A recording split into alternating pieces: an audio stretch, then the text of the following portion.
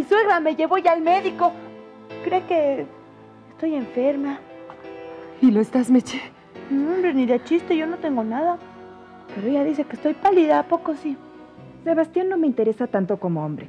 Tú sabes que me casé sin amor. Pero es demasiado. Ay, ¿de qué te quejas? Sebastián quiere vivir como si fuera soltero. Está mal acostumbrado. ¿Qué? ¿Falta mucho a sus deberes, Mística? Bastante, tía. Y no es que me importe tanto, pero tampoco quiero que me lo quiten. Ay, qué tontería. ¿No se habrá casado contigo para divorciarse después? Yo tampoco lo creo, tía Paz, pero anda demasiado suelto.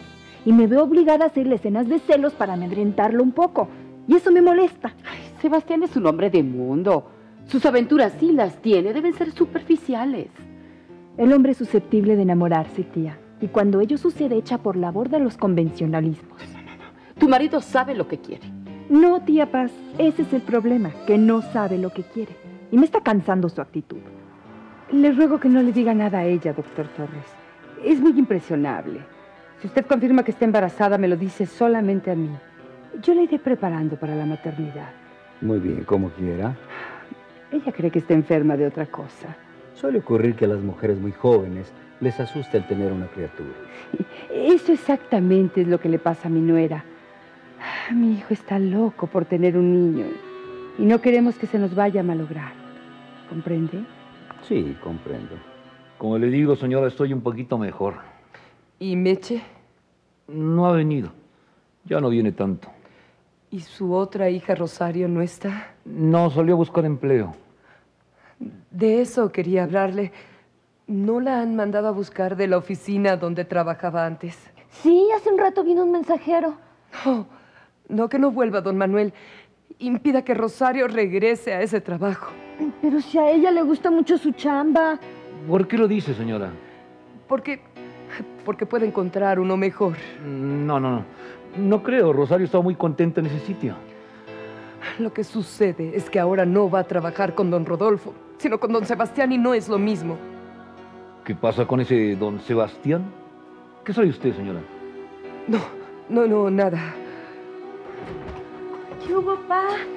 Ay, hola, señora Mancilla. ¿Cómo estás, mi ¿Qué hubo, Candy? Meche? Meche, qué bueno que llegaste. Estaba explicándole a don Manuel que es mejor que tu hermana Rosario no trabaje más en esa oficina. Ah, pero pues sí, ella no está allá, ya la corrieron. No, acaban de mandarla a buscar de nuevo, Meche. Ay, la mandaron a buscar otra vez. Ay, virgencita, qué bueno. María Mercedes, es mejor que tu hermana busque empleo en otro lado. Ay, pues ese es bueno. En esa oficina le iba re bien. Pero ahora no va a trabajar con don Rodolfo, sino con don Sebastián. Híjole. ¿Y qué? ¿A poco no es igual? No, Meche, don Rodolfo es muy serio. Híjole. ¿Y ese tal don Sebas? ¿A poco es de los jefes que molestan a las empleadas? ¿Y María Mercedes? Se fue a casa de su papá. ¿Y qué dijo el médico? Está embarazada. ¿Y María Mercedes qué dice? No, ella no sabe nada. ¿Cómo? Yo me puse de acuerdo con el doctor Torres para que no se lo dijera. ¿Y él aceptó? Le mentí para que aceptara. ¿Y ahora, mamá? Ese niño no puede nacer. Ay, no digas más eso, mamá, por lo que más quieras. Por tu propio hijo, no lo repitas. Por mi hijo lo hago. Además, además quedamos en que la criatura no es de Jorge Luis. Santísimo sacramento, que el Señor no te escuche. En sus manos estuvo el haberme evitado todo esto.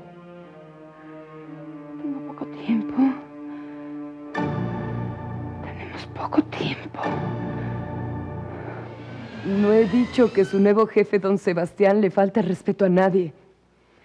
Pero creo que cuando a una la despiden de una oficina, debe ser penoso volver. Ay, pues Rosario se va a poner rete contenta cuando lo sepa. Y, y se va a empeñar en regresar. Está bien. Pero una cosa sí te voy a pedir, Meche. Y es que tú no vuelvas por allá. Ay, no, eso sí lo tenía pensado. El día en que Rosario no llegue a su hora, pues la voy a esperar en la calle. Pero es que a su oficina ya no voy a entrar. No voy a hacer que la regañe por mi culpa, ¿verdad? Muy buena idea. Te resulta difícil hacerla de madre para tus hermanos, ¿verdad? Pues la que más trabajo me da es Rosario. Andresito ya está encaminado en el internado.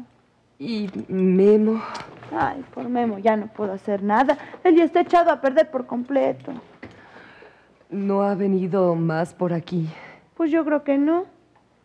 Aunque mi pa a veces me lo oculta. Dios te bendiga, hija. Eres muy buena. Y por eso has logrado meterte en mi corazón. Café y galletita para todos. Ay, qué rico. Ay, muchas gracias. Ay, ustedes no saben. Mi suegra me llevó ya al médico. Cree que estoy enferma. ¿Y lo estás, Meche? No, hombre, ni de chiste, yo no tengo nada. Pero ella dice que estoy pálida, ¿a poco sí? Bueno, en, en realidad sí, estás un poco pálida. Oh, pero pareces estar saludable. No, pues la señora si yo se re fuerte como un cañón, ¿verdad, pa? Mm, El médico no me encontró nada. Solamente me mandó unas vitaminas. Menos mal que esa señora se ocupa de ti. Mm, Es rarona, ¿eh? Unas veces parece re buena onda conmigo. Ay, pero otras es bien mala, así como bruja. ¿Y tu marido cómo es? Bueno, él me quiere. Sí, Jorge Luis sí me quiere. No pareces muy convencida. Claro que sí. Lo que pasa es que... Ay, ¿saben una cosa? Me voy a comprar un carro. No, no, no, no, no, por Dios. Ahora es un peligro manejar en una gran ciudad. Y sobre todo para las mujeres. Ay, doñita, si aquí hay un resto de chavas manejando, puro café al volante. Pero tú no lo harás. Te lo prohíbo. ¿Entiendes? Te lo prohíbo. María Merced. Qué bueno que se me ocurrió venir por mi carta de recomendación para buscarme otra chamba. De todas maneras, uno de nuestros empleados le había dejado mi recado en su casa para que trabaje directamente conmigo, Rosario. ¿Trabajar ahora a sus órdenes, don Sebastián? Sí, y su sueldo será un poquito mayor. Gracias, arquitecto Ordóñez. Se lo agradezco mucho. Podría aprender a manejar una computadora. Eso es fácil. Sí, yo quiero graduarme de secretaria ejecutiva. Así se hace. Además, yo no soy tan exigente como don Rodolfo. Su hermanita puede venir a buscarla cuantas veces quiera. No, no, no. Ella no va a venir más porque es bien peleonera. ¿A poco usted no sabe que por su culpa me despidió don Rodolfo? Le digo que conmigo las cosas son distintas, Rosario. Yo tendré mucho gusto en ver a su hermana por aquí. Las disputas de ustedes, que no son otra cosa que problemitas de familia, no me afectan, no me asustan.